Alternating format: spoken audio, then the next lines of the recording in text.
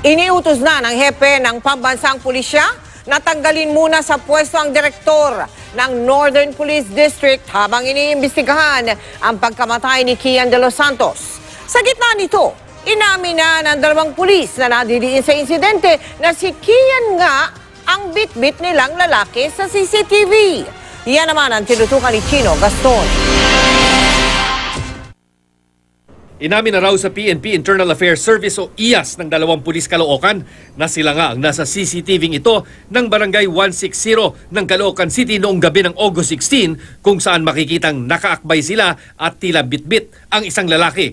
Inamin din nilang si Kian Lloyd de los Santos nga ang lalaking bitbit nila. Pero ayaw pangalanan ng IAS kung sino kina PO3 Arnel Juarez, PO1 Jeremiah Pereda at PO1 Jerwin Roque ang umamin sa mga investigador. Ang tatlong pulis ang itinuturong magkakasama ng arestuhin si De Los Santos na kalaunay binaril madabos umanong manlaban sa mga pulis. Tatlong tama ng bala ang pumatay kay Kian. Inaalam pa ng IAS kung ano naman ang papel ng siyam na iba pang pulis na kasama sa anti-drug operation ng gabing yon sa pagkakaaresto kay De Los Santos.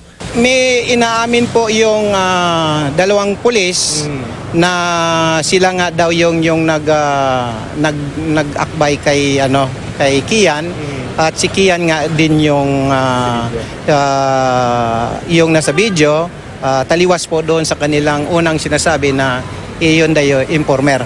Bukas irerekomenda na ng IAS kay PNP Chief Ronald De La Rosa na simula na ang pre-charge investigation bilang paghahanda sa kasong administratibo na maaring isampas sa tatlong pulis na sinibak na muna sa pwesto. Isasama rin sa reklamo ang kanilang PCP commander.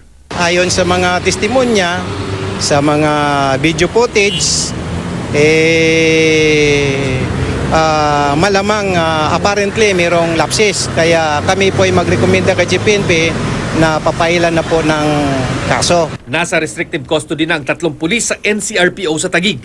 Wala raw derogatory record ang tatlo ayon sa kanilang district director.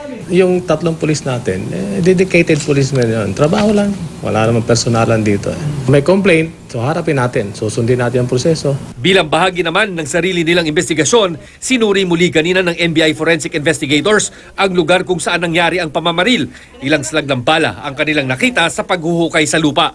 Inatasan ng Department of Justice ang NBI na gumawa rin ng sariling investigasyon sa pagkamatay ng 17 anyos na estudyante para alamin kung may kalabisan bang nangyari sa panig ng pulisya. Chino Gaston Nakatutok, 24 oras.